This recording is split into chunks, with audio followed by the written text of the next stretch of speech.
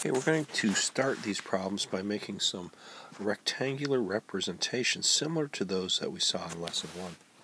We're going to make two uh, rectangles.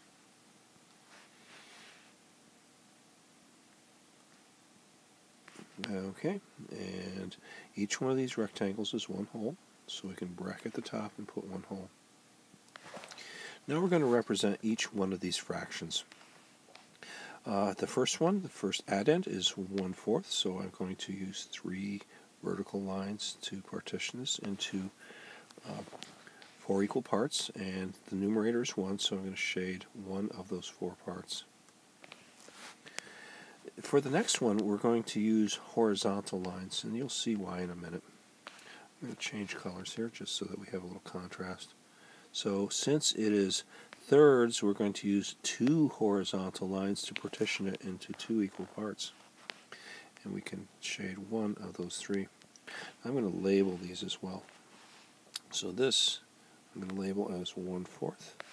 And over here I'm going to label this as one third. I'm going to rewrite the problem over here. So I have one fourth plus one third. Now we're going to use uh, these lines to create equivalent fractions, just like we did in the first one. So in for one-fourth, I'm going to now draw two horizontal lines. Now we have our fraction is no longer divided into fourths, but we have the same area shaded, so we know it's equivalent. So I have 1, 2, 3, 4, 5, 6, 7, 8, 9, 10, 11, 12. So my denominator for my new fraction here is twelfths. How many of the 12 are shaded? That would be 3. So 1 fourth becomes 3 twelfths. Now we're going to do the same with the other uh, rectangle here, except we're now going to partition it into four equal parts using vertical lines. And again, I have 12 parts, so we will take that and put 12 as our denominator. And 4 out of the 12 are shaded. So now we have like denominators. Now we have uh, like terms. We can add by adding the two numerators. 3 plus 4 is 7 and that's 7 twelfths. We use 12 still because e uh, each whole is still divided into 12 parts. Let's look at the next one. Make some more room at the bottom here. So we shall make our two rectangles.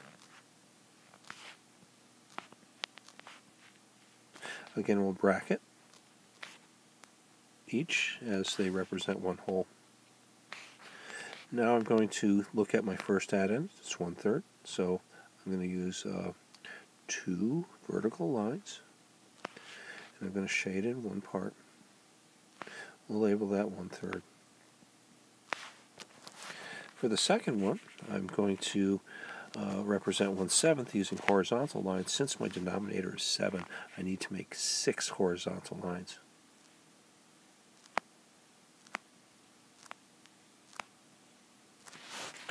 Alright, not too even, but they don't have to be perfect and a one of those is shaded in. And we'll bracket that, and we'll have one seventh. Now, like we did with the previous problem, we're now going to put horizontal lines in the first uh, rectang rectangular model, and we are going to put in six of those lines, partitioning it seven ways.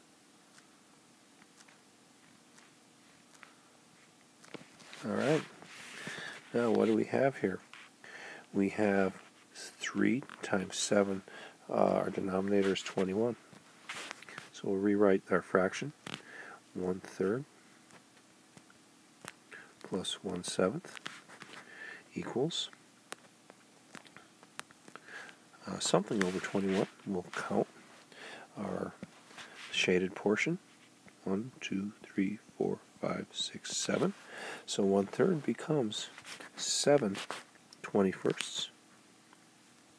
Now we'll partition our second rectangle, and this time we're going to use two vertical lines to partition it equally into three parts. And again, we have 21 as our denominator. Uh, how many are shaded? 1, 2, 3 out of 21. So now we have 3 for our numerator, and we add 7 plus 3, we get 10 21st.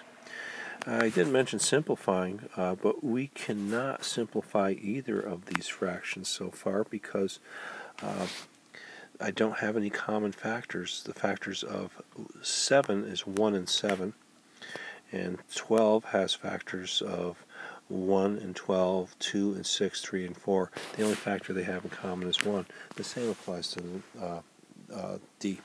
Let's do one more little set here. They're slightly different. Okay, if we look at these problems, we see that we now have non-unit fractions. Unit fractions have 1 in the numerator. Non-unit unit fractions have values greater than 1. So 3 fourths is not a unit fraction. 1 fifth is. 2 thirds is not a unit fraction, nor is 2 sevenths. Let's make our representations once again.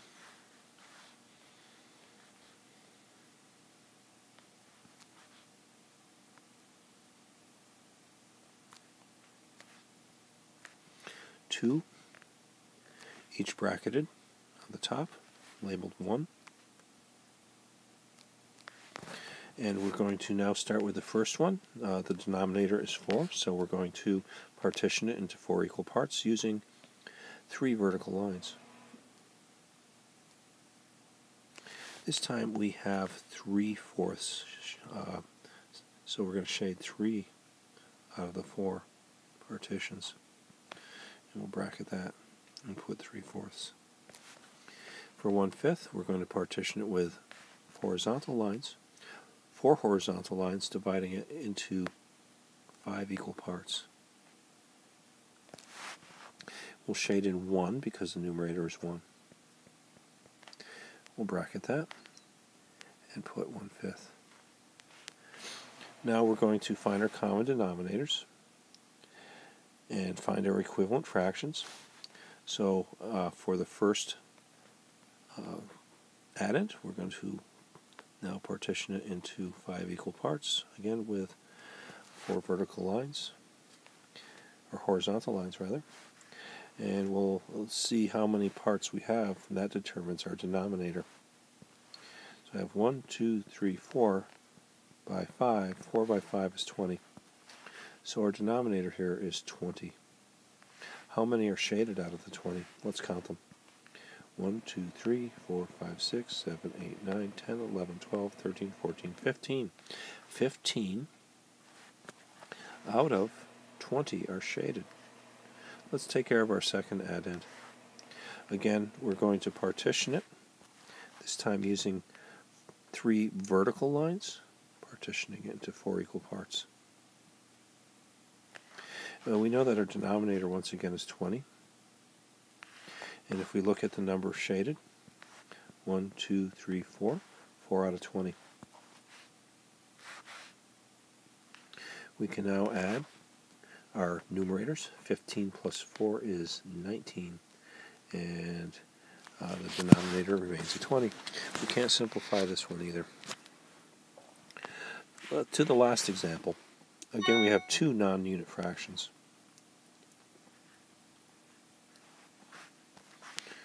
Two rectangles, or squares almost. And again, bracket them as one whole. And we're going to use our vertical lines, two vertical lines, partitioning the whole into three equal parts. We see that two parts are shaded because 2 is the numerator. Bracket our 2 thirds. Um, now we're going to use six horizontal lines to partition this second rectangle into seven equal parts.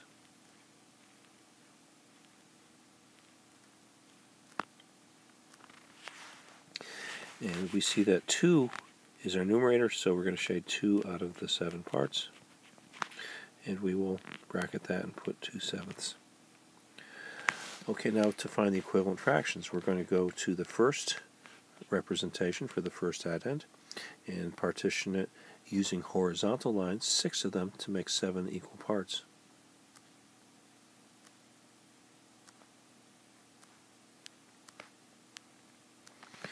And we have 3 times 7 is 21, so our denominator will be 21. We're going to just kind of work that up there. So we have 21 as our denominator, and we know it's going to be the same for the second addend as well. How many are shaded? 1, 2, 3, 4, 5, 6, 7, 8, 9, 10, 11, 12, 13, 14. 14 are shaded. So we can now write 14. And of course we could use multiplication for this too, couldn't we? We uh, would uh, multiply our 3 times 7 to get 21 and 2 times 7 to get 14. Right? That's in essence what we're doing here. And now we're going to go on and partition the second addend using two vertical lines, cutting it into three equal parts. And uh, we see that we have six shaded. Now that's the same as multiplying, well, 7 times 3 is 21. We have to multiply the numerator by 3 as well, and we get 6. And of course, if we counted those, we would see 6. And we'll add, and we get 20 21st. Barely got the room to do that. Okay, uh, those are some examples. You have some word problems as well. The word problems are solved through the same process. They're pretty simple and straightforward, so you shouldn't have any problem with them.